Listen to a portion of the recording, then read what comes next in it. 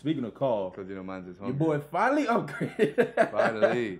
Bro, I haven't had a new phone in four years. But yeah, So I feel like I deserved it. you went from an Android to an Android, and we're proud. Oh yeah. Fuck iPhone. iPhone said Rest fuck in you. pieces. Word. Steve Jobs.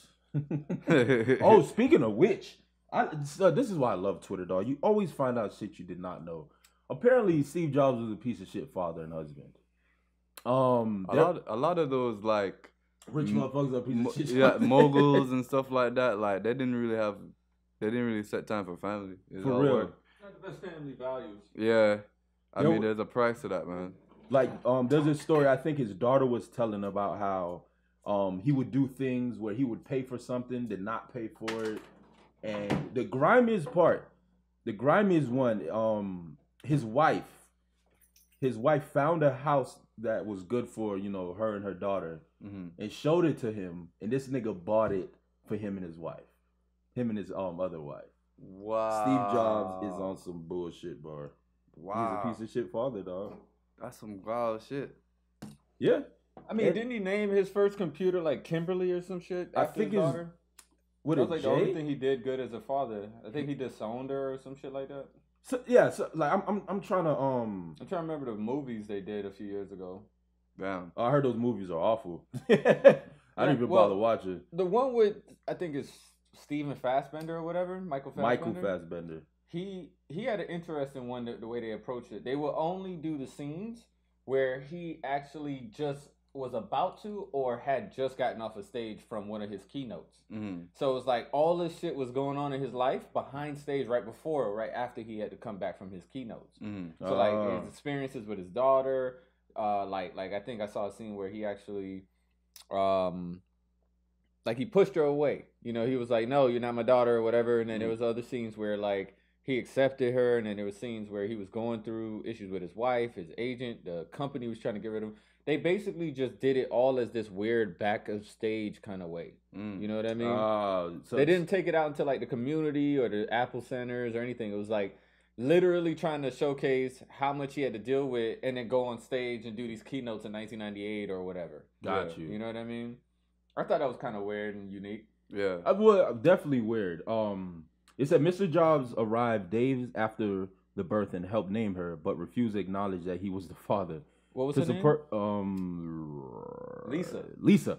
Um to support her family, Miss Brennan cleaned houses and used government assistance. Only after the government sued Mr. Jobs did he agree to pay child support. So they had to come and sue this nigga for him to pay child support. He said when her mother found a beautiful house and asked Mr. Jobs to buy it for her and Lisa, he agreed it was nice, but bought it for himself and moved in with his wife, Lauren Powell Jobs. That's some grimy shit. That is some. Well, good- And he on, said he would do on. shit to confuse and frighten her. He said sometimes he decided not to pay for things at the very last minute, walking out of restaurants without paying the bill. How That's a nice power shit. was the house that he decided to live in it though? Wait, what, what do you mean? What kind of house was this? Oh yeah. Like, I guess- Like, oh, I want this mansion versus this mansion. I mean, if your husband is Steve Jobs, you're gonna go for the top shelf because you know he can pay for it. word. Okay, real quick. How do y'all feel about that?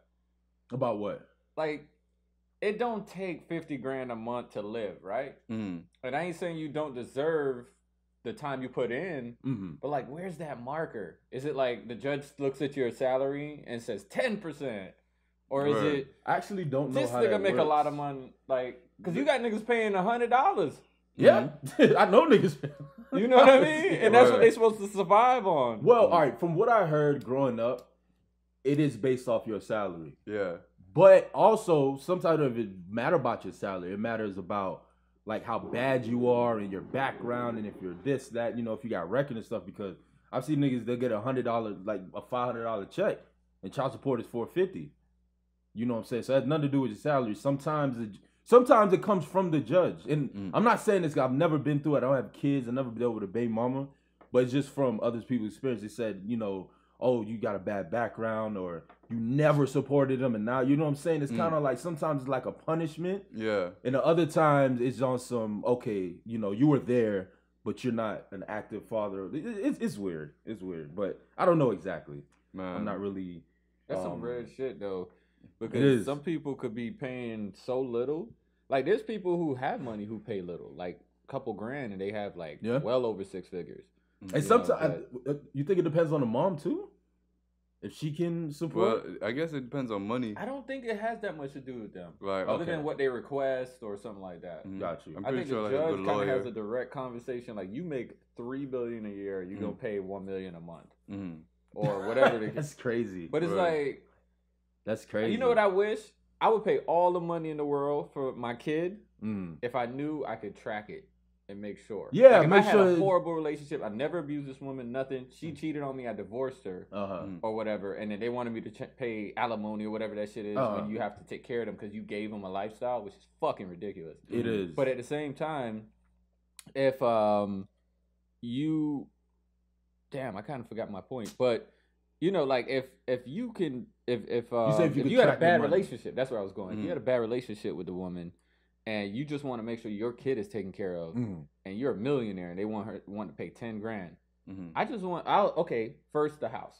Cool. Cuz your kid got to have a roof. Of course.